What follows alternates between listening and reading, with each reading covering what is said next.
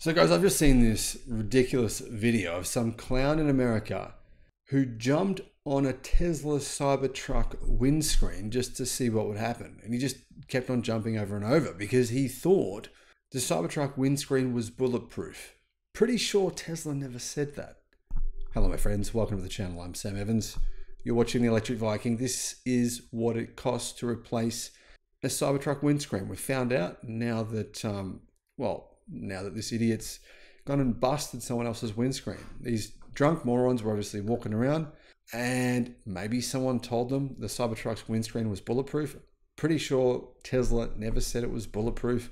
Yeah, the car is. I mean, the the stainless steel.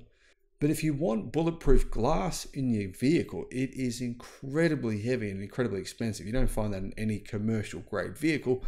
Anyhow, the cost to replace the windscreen is 1,900 US dollars. I'm surprised. This is the single biggest piece of automotive glass on any um, non-commercial, like non-truck vehicle.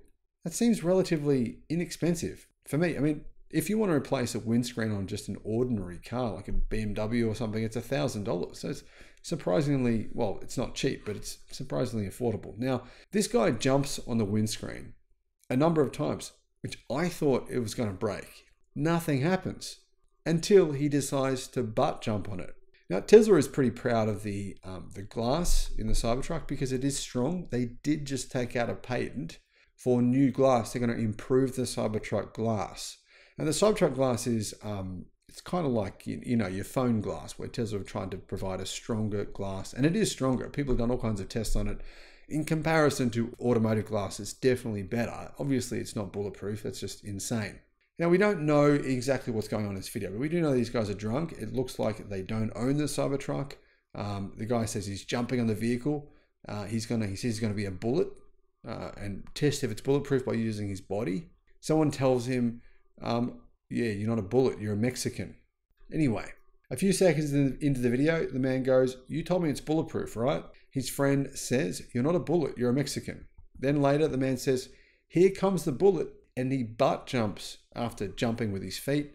And he, you can hear there's a crack in the windscreen. Come down. No, no, no, no. Now, the guy doesn't seem very bothered about cracking the windscreen. I think because he's drunk and because it's not his car.